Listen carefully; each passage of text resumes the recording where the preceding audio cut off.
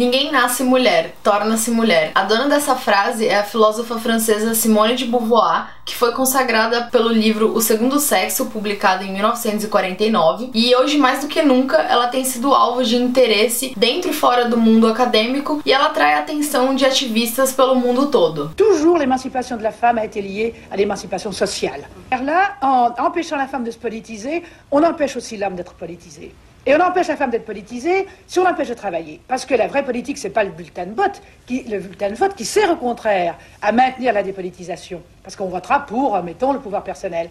C'est la participation à des syndicats, à des groupes de pression. C'est par le travail seulement, par la vie économique, qu'un individu peut s'intégrer à la vie sociale. Alors on maintient la femme loin de la vie économique, à la maison, donc on la maintient loin de la vie politique. Si vous voulez, je crois que c'est une des raisons très fortes pour lesquelles il y a tout ce mouvement contre euh, l'emancipação feminina. Olá, eu sou a Joyce Pais, fundadora e editora-chefe do portal Cinemascope. Hoje eu tô aqui para estrear uma coluna nova no canal que se chama Documenta, que vai falar de documentários, e o primeiro deles se chama Simone de Beauvoir e o Feminismo. Membro de uma família com origem aristocrática e burguesa, Simone de Beauvoir estudou matemática, literatura e línguas antes de estudar filosofia na Universidade de Paris Sorbonne, onde ela conheceu grandes nomes da filosofia e da literatura como Jean-Paul Sartre, com quem ela manteve um relacionamento aberto durante a vida toda. Além de defender o gênero como uma construção social, a Simone de Beauvoir afirmava que os homens estereotipam as mulheres e usam isso como desculpa para organizar a sociedade num patriarcado. Ela acreditava na independência financeira feminina e na igualdade de educação entre os sexos. Ela fez contribuições essenciais para o feminismo e atuou muito fortemente no movimento de libertação das mulheres. Simone de Beauvoir e o feminismo reúne três documentários inéditos contendo entrevistas raras com a escritora. O primeiro deles se chama Uma Mulher Atual. Esse documentário traça um panorama da vida e obra da pensadora e suas diversas facetas. O seu pensamento existencialista, relação com Sartre, seus romances e principalmente seu ativismo político. Ele tenta resumir a trajetória de Beauvoir desde o encontro dela com Sartre no ambiente acadêmico até os seus últimos dias de vida, onde ela passou a relatar como é que foi essa convivência final com ele. Em alguns momentos a encenação do cotidiano da escritora,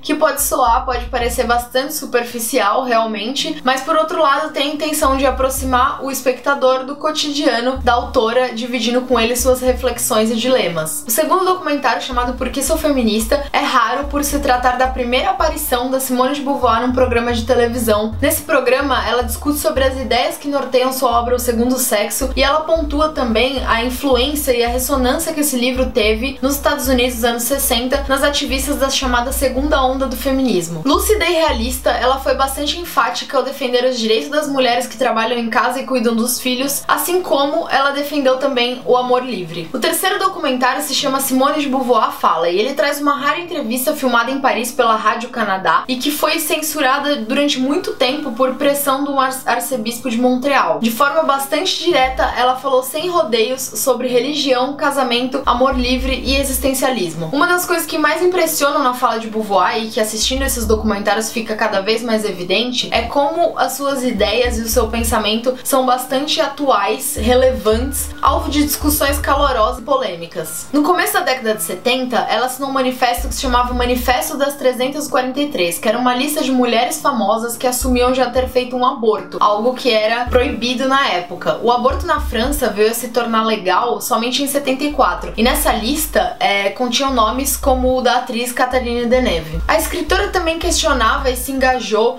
na luta pela abolição da idade de consentimento em prol da descriminalização do sexo consensual. Personalidades intelectuais francesas como Sartre, Foucault, Deleuze e Barthes assinaram cartas abertas e petições solicitando a despenalização das relações consensuais entre adultos e menores de 15 anos. Eles alegavam que essa lei tinha uma enorme contradição, já que naquela época na França os adolescentes maiores de 13 anos já eram considerados totalmente responsáveis por seus atos. Simone de Beauvoir revelava causava ainda uma enorme inquietação diante da morte e do envelhecimento. Obras como Uma Morte Suave e A Cerimônia do Adeus davam conta de narrar como é que foi passar os últimos anos do lado do Sartre, que foi seu companheiro de uma vida toda. Eles também mantinham relações com outras pessoas, inclusive do mesmo sexo, e a Simone de Beauvoir esteve envolvida em muitas polêmicas, inclusive por conta de relacionamentos com suas alunas. Ela chegou a ser expulsa da universidade onde ela dava aula porque ela foi acusada de abuso. Enfim, ela vivia envolvida envolta desse, dessas tramas, dessas histórias com os relacionamentos dela. Simone de Beauvoir faleceu em 1986 aos 78 anos de idade em decorrência de uma pneumonia. Mas ela foi uma revolucionária e suas reflexões sem dúvida ainda hoje são uma referência, que vão ajudar a guiar não só a luta feminista, como o entendimento do ser humano com a sociedade e o mundo. E se você gostou da forma como a gente estreou essa playlist documenta aqui no canal, deixe seu comentário, fala o que vocês curtem quem sabe no próximo vídeo vocês não veem o seu documentário favorito aqui. Até a próxima!